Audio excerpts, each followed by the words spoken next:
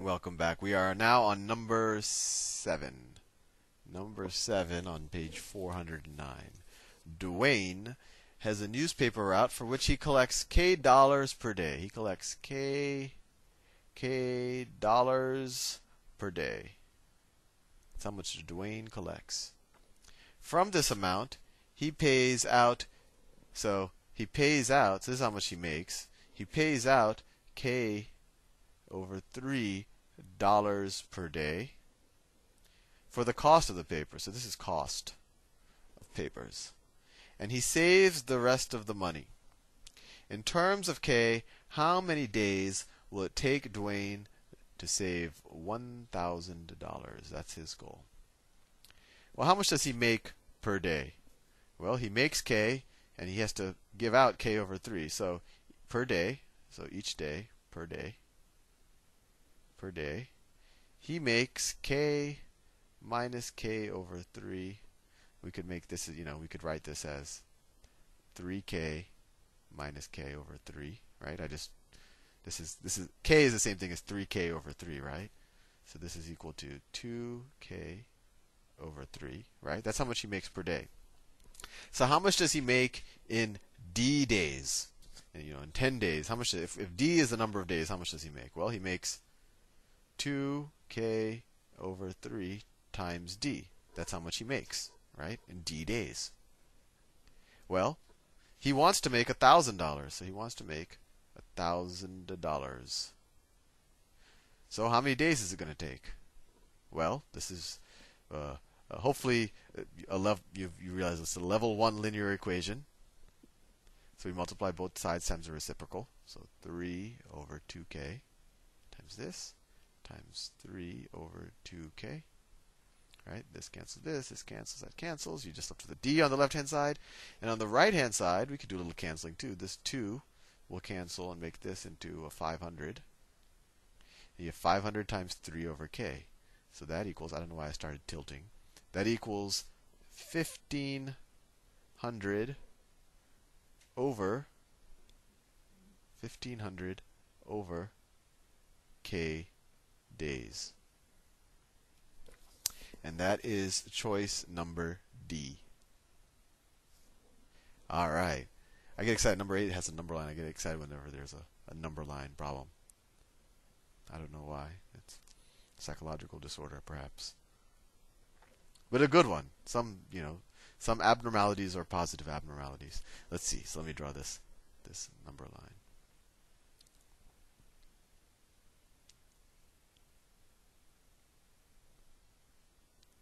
All right. I drew that number line. A number line. Most of the time, it's probably just going to take drawing it. Let's see. So I have. Let me do this in a different color. So I have point A. We do it more vivid color. Point A is here, and then it's right next to negative 2. It's a little bit less than negative 2, which is right there. Then I have negative 1 right here, negative 1. Then I got a bunch of points. I have B, I have P, I have C. Then I have 0. Then I have 1. And then I have a couple of points more. D, and then I have Q. Then I have the number 2, and I have E. All right. So let's read the problem. Which of the letter points on the number line above could represent the result when the coordinate of point P is multiplied by the coordinate of point Q? All right. So this is pretty much just an approximation problem, right? So we're trying to figure out, you know, P times Q, essentially. So point P, well, look, that's uh, looks eyeball it. It's a little bit to the left of zero, to the right of negative one. Looks like maybe I don't know. I'm just guessing minus 0.5, minus one half, right? Minus one half. And what's Q? Well, Q is looks uh, a little bit, you know, maybe closer to two than it is to one. So I would say maybe one and three fourths. I'm just guessing. You know, you could just approximate it as you want. So one and three fourths. So, so this is one and three fourths. Or if you wanted to write that as an improper fraction, which I prefer to deal with, seven fourths. Right? I'm just eyeballing it. Nothing fancy here. So if p is one minus one half and this number is seven fourths, so what is what what happens when you multiply the two? So minus one half times seven fourths is equal to minus seven over eight, right? So minus seven over eight, that's a little bit to the that's a li- it's almost minus 8 over 8, right? Minus 8 over 8 would be would be here, right? Minus 8 over 8 would be at negative 1. And so this is a little less negative, or it's, so it's a slightly larger number. So minus 7 over 8 is going to be someplace around this area. Well, it's interesting that I've bumped into a number there while I was looking in that area. I bumped into point B. And you know, it, maybe my approximation is wrong. Maybe it, it could be point C, uh, point P. But when I look at the choices, P isn't a choice, and only B is. So B is what I would bubble in as what the uh, what what happens when you multiply P times Q. And that that was kind of fun because it's just pure approximation, and you kind of get something that approaches the answer, or it is the answer, I guess. Hopefully. All right. All right. I'm having too much fun.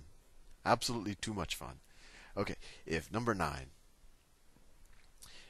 if 5y plus 2x is equal to 23 and x is equal to y plus 1, what is the value of y? What is y equal?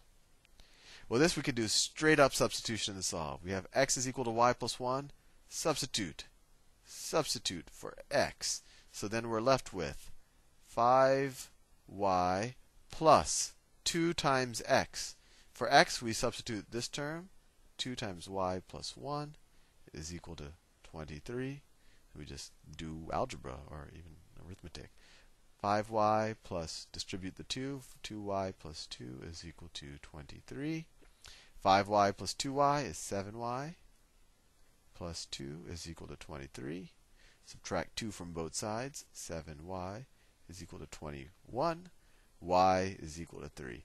They're just this te- this this was just a question to see if you even took algebra 1. Not not to make you feel bad if you don't remember. You know, people forget things. But anyway, let's move on. Number 10. A company produced 300 appliances in the first week of the month. So this is number 10 we're doing. Let me switch colors. That's mauve is too dark. So week 1. So let's say week 1 appliances produced 500 in week 1. In the first week because it received additional machinery, its production increased 50% from the first week to the second week. How many appliances did the company produce in the second week? Oh, I didn't even have to make a table here, right? So it improved 50%. So plus 50%. So it's important. It improved 50%. Week 2 isn't 50% of 500. It's 50% more than 500, right? So it's 500 plus 50% of 500. And what's 50% of 500? Well, that's 250, right? So it's 250 plus 500 is 750. That was, I was looking forward to something more challenging. Anyway, number 11. Let's see if I have time to do number 11 in this video. If I can. Each angle, if the length of the side wood is one possible. You know what? I only have one minute left. I will do this in the next video.